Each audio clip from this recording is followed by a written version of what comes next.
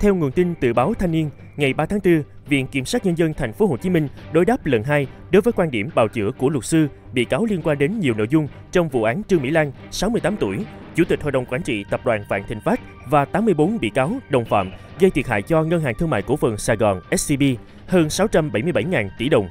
Trước đó, ở phần luận tội, Viện Kiểm sát Nhân dân Thành phố Hồ Chí Minh đề nghị án tử đối với bị cáo Lan về 3 tội vi phạm quy định về cho vay trong hoạt động của các tổ chức tín dụng, tham ô tài sản, đưa hối lộ. Khi bào chữa bổ sung, luật sư Trương Mỹ Lan nói đây là lần đầu tiên xét xử và đề nghị một nữ doanh nhân với mức án tử hình. Đối đáp, Viện Kiểm sát nói, nhưng luật sư lại nêu thiếu một mệnh đề quan trọng là lần đầu tiên có một nữ doanh nhân bằng nhiều phương thức thủ đoạn tinh vi chiếm đoạt tài sản với giá trị đặc biệt lớn như vậy.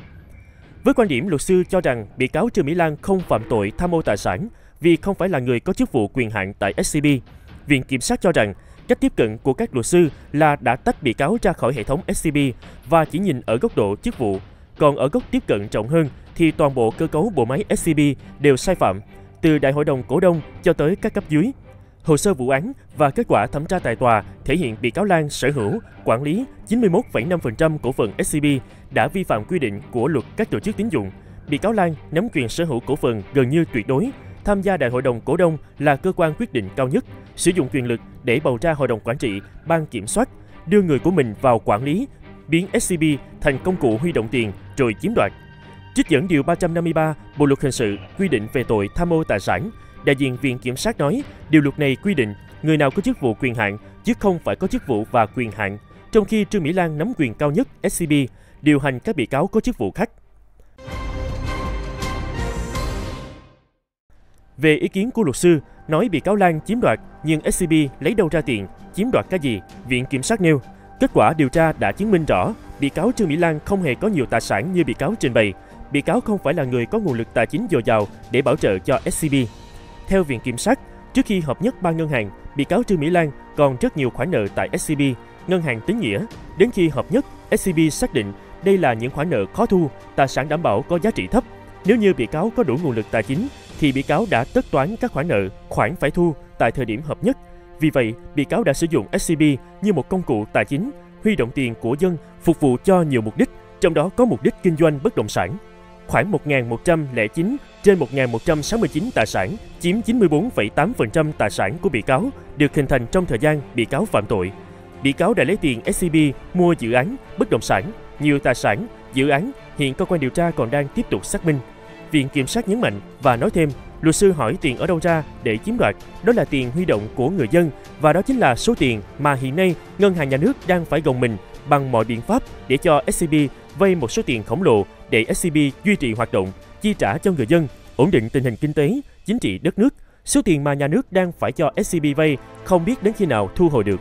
Ngoài ra, sau khi luật sư bị cáo tranh luận bổ sung, đối đáp lần 2, cơ quan công tố ghi nhận thêm một số tình tiết giảm nhẹ mới, đề nghị hội đồng xét xử giảm nhẹ hình phạt so với mức án đề nghị trước đó đối với 22 bị cáo trong vụ án. Trong đó, bị cáo Chu Lập Cơ, chồng bị cáo Trương Mỹ Lan được giảm xuống 10 đến 11 năm thay vì 11 đến 12 năm. Trương Huệ Vân, cháu ruột bị cáo Lan, tổng giám đốc tập đoàn Vạn Thịnh Phát 17 đến 18 năm tù, trước đó là 19 đến 20 năm. Nguyễn Cao Trí, chủ tịch hội đồng quản trị công ty Văn Lan và công ty Capella từ 10 đến 11 năm tù, nay giảm còn 9 đến 10 năm tù. Đối với các bị cáo còn lại, Viện Kiểm sát giữ nguyên quan điểm, truy tố và luận tội. Hôm nay, ngày 4 tháng 4, các bị cáo còn lại trong vụ án sẽ nói lời sau cùng. Quý khán giả hãy theo dõi kênh để xem nhiều thông tin mới nhất về vụ Vạn Thịnh Phát nhé.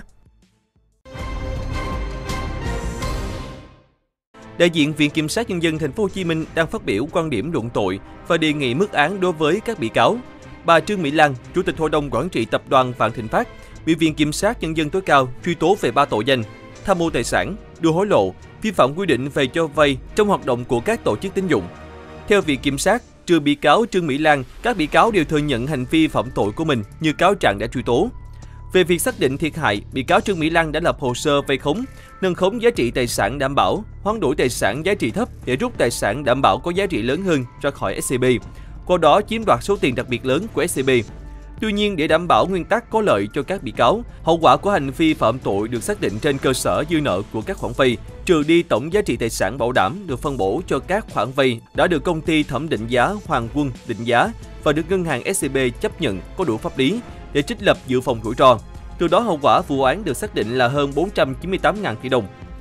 Trong đó, bị cáo Trương Mỹ Lan có vai trò chủ mưu, cầm đầu. Từ ngày 1 tháng 1 năm 2012 đến ngày 31 tháng 12 năm 2017, bị cáo Trương Mỹ Lan đã chỉ đạo lập khống 368 hồ sơ vay vốn để rút tiền của ngân hàng SCB sử dụng vào các mục đích khác nhau.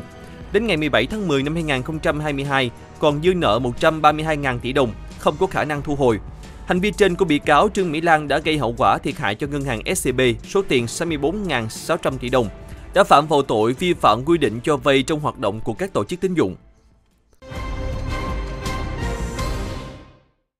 Từ ngày 9 tháng 2 năm 2018 đến ngày 7 tháng 10 năm 2022, Trương Mỹ Lan đã chỉ đạo lập khống 916 hồ sơ vay vốn, chiếm đoạt của ngân hàng SCB số tiền 304.000 tỷ đồng, gây thiệt hại số tiền 129.000 tỷ đồng lãi phát sinh. Hành vi này của bị cáo Lan đã phạm vào tội tham ô tài sản.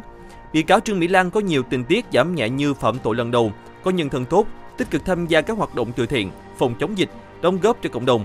Tuy nhiên, theo Viện Kiểm sát, bị cáo Lan có vai trò chủ mưu, cầm đầu nhưng không thừa nhận hành vi phạm tội của mình, ngoan cố, đổ lỗi cho nhân viên cấp dưới, không ăn năn hối cải. Bị cáo thực hiện hành vi phạm tội với thủ đoạn tinh vi, gây thiệt hại số tiền đặc biệt lớn. Từ đó, đại diện Viện Kiểm sát cho rằng cần loại trừ bị cáo Trương Mỹ Lan ra khỏi đời sống xã hội vĩnh viễn.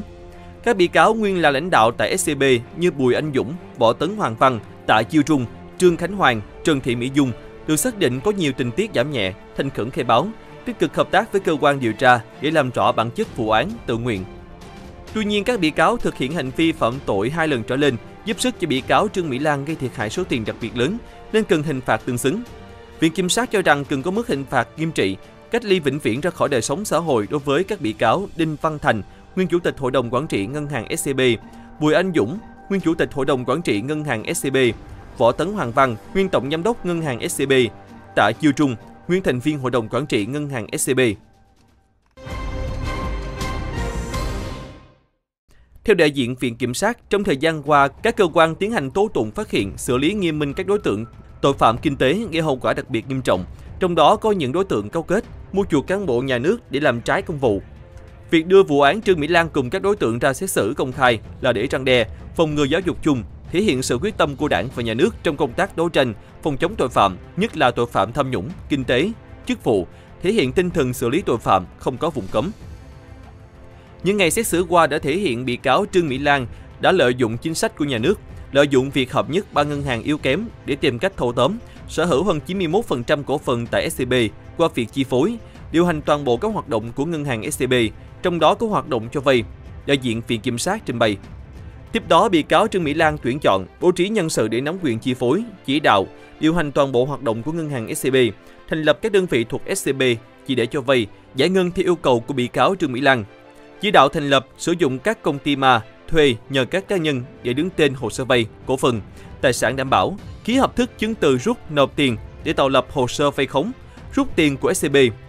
Câu kết với các đối tượng là chủ sở hữu, đại diện theo pháp luật của các công ty có liên quan để tạo lập khoản vay, cùng sử dụng, chiếm đoạt tiền của SCB, tạo lập hồ sơ vay vốn khống để hợp thức việc rút tiền của ngân hàng SCB. Thông đồng câu kết với công ty thẩm định giá để cấp chứng thư nâng khống giá trị tài sản bảo đảm, đưa vào hồ sơ vay vốn, đưa tài sản đảm bảo không đủ pháp lý. Không đăng ký giao dịch bảo đảm, rút tài sản có giá trị lớn, hoán đổi bằng tài sản có giá trị thấp hơn. Là phương án rút tiền, cắt đứt dòng tiền sau khi giải ngân và bán nợ xấu cho VAMC, bán nợ cho các khoản cấp tín dụng trả chậm, cấm trừ nợ để giảm dư nợ tín dụng và giảm tỷ lệ nợ xấu. Số tiền bị cáo Lan rút ra càng nhiều, gây hậu quả đặc biệt lớn với sự giúp sức của các bị cáo nguyên là lãnh đạo tại ngân hàng SCB và nhóm bị cáo làm việc trong hệ sinh thái Vạn Thịnh Phát. Ngoài ra, để che giấu thực trạng yếu kém của ngân hàng SCB, để SCB tiếp tục được tái cơ cấu, Trương Mỹ Lan đã chỉ đạo Võ Tấn Hoàng Văn đưa hối lộ cho bà Đỗ Thị Nhàn số tiền 5,2 triệu đô la Mỹ, đưa tiền, quà, lợi ích vật chất cho nhóm bị cáo thanh tra. Các bị cáo thanh tra đã vì vụ lợi đã chỉ đạo lập báo cáo không trung thực, không đúng thực trạng tài chính của SCB, bao che, bưng bít sai phạm của SCB.